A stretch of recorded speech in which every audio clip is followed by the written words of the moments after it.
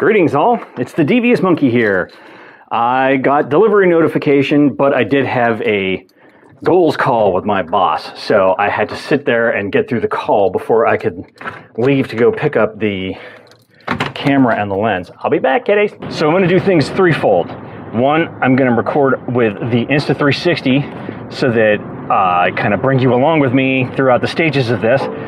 Two, I'm filming on the ZV-1 overhead when I do the unboxing and, and putting everything together. And then I'm going to eventually put one last little bit in there once I get the camera all set up and, and uh, you know, I take a quick video with it just so that you can see it and that I can see it and I can play. So that's kind of where we're going. So I'm on the way to the UPS store right now to pick up the package and we'll go from there. Okay, kids, we're back and I got this big ass box of stuff. Alrighty. Sony a7C, and here's the 16 to 35. And now here's all that extra shit that they threw in that I don't need. Yet another camera bag to go into the closet of camera bags that I have and don't use, because I don't use that kind of shit. Now this I probably will use. This is a uh, Kowa battery charger, and it has two additional batteries. Another old, useless card. It's a 64 gigabyte um, Ultra, which, you know, for the shit that I do, that's not going to do anything. So, all right, let's set that aside. And now we will open the camera. Drum roll, is it going to be silver or is it going to be black? Because I called thinking that I inadvertently ordered black and they told me I ordered silver. All right, so, you know, all the usual shit. There's that, the straps that I never use, another battery that we'll keep out because that's going to have to be charged right away. All right. Bang! It's the silver one, yay! Now let's look it over and make sure that it isn't used. No obvious gouges. Okay, so here's the camera. Very nice. Everything works. Screen's not all messed up because we're going to have to do that first. That on there. All right, I'm going to put this on the charger. Here's the 16 to 35 f4. Beast! It's a beast! So, there it is in all its glory. All right, looks good. Does not look like it's been used. Now, unfortunately, I did not get the free Freewell filter yet. So I guess I'll just have to wait. But in the meantime, let's put a screen protector on this bitch. All right, first, then dry, and then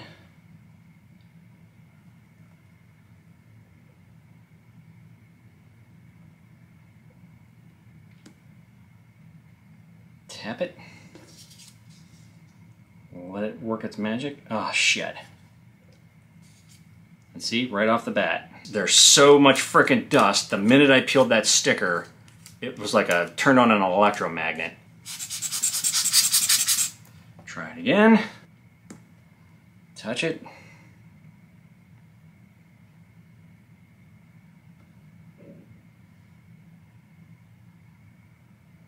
Wow perfect adhesion.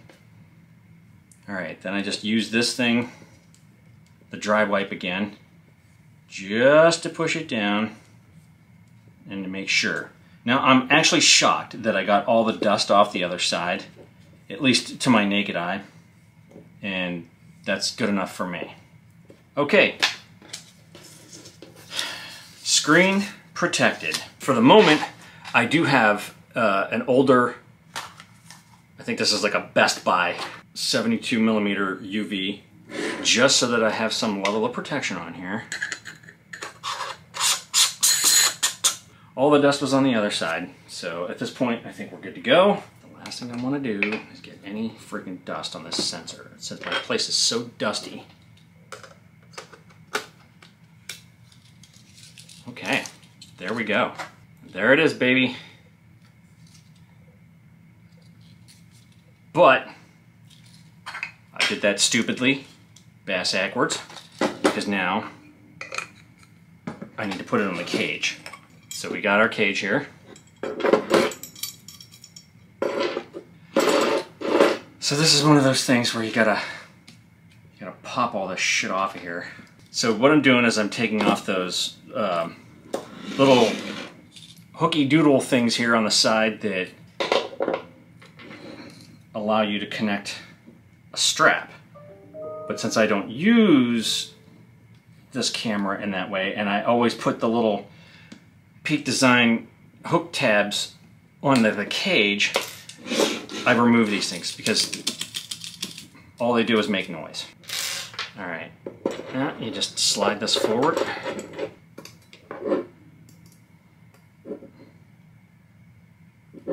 Okay, tight, it's in there. Now we do the bottom. It comes with its own little screwdriver of sorts. Magnetizes back under there. We're good to go there. That's a nice tight fit.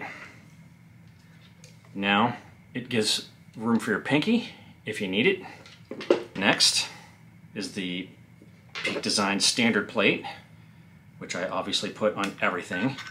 And that will just go over here. Give it a good twist, and that sucker's on there. All right. Then the next thing is the handle.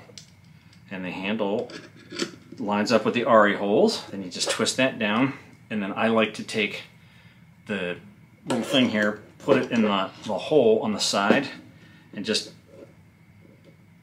give it a little tweak. And there we go. All right, so check it out. You can see it. Ooh, ah. All right, we got our Movo VXR10 microphone. I'm pretty excited. All right, now what we got to do is get the buttons all situated here. Da, da, da. Okay, so now I'm just going to sit here and I'm going to play with all these settings and get this thing set up exactly how I want. I am going to be using the Sony Bluetooth grip, so I will get that paired up to it as well. As you can see, I have the SmallRig Arca adapter so that all my stuff seamlessly goes between every device that I have. Here is the new filming setup. Full frame Sony a7C with the Sony Zeiss 16 to 35 f4 OSS and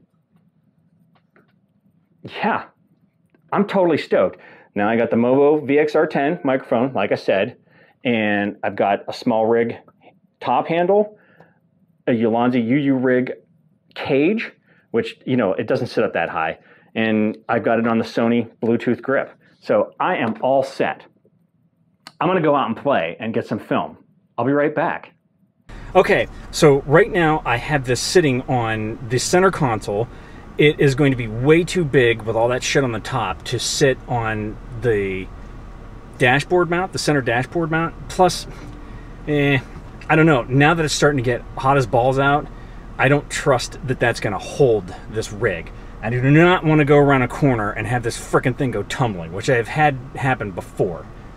So I think it's going to stay on this this center column here. We're going to have to deal with the window blowing things out. But I mean, I actually don't look that bad. Yes, it's kind of bright there, but it's kind of going into the sun. So I think we're going to be okay. All right, I am totally excited. This camera is awesome. It feels great. It looks fantastic. Totally digging that silver retro look like everybody else says. And uh, whilst I'm sitting here watching myself on the on the screen here. Again, I'm not thrilled with a flip out screen, but you know, I can deal with it. So yeah, it's had uh, autofocus on me since I turned it on. It's going, it's, it's totally going and perfect. And I look great and I like the colors with that standard that I picked. I'm not doing a picture profile. I'm not grading. And like I said, no fake S Cinetone. All is well. All is fantastic. I couldn't be more excited about this and hopefully you'll start seeing some changes in my in my videos, hopefully for the better. I always welcome your suggestions and comments, so keep them up. But that's pretty much all I got for you today. I'm just going to go out and play now. So, as always, thanks for joining me. Like, subscribe, and all that shit. And remember, kids, forward and up.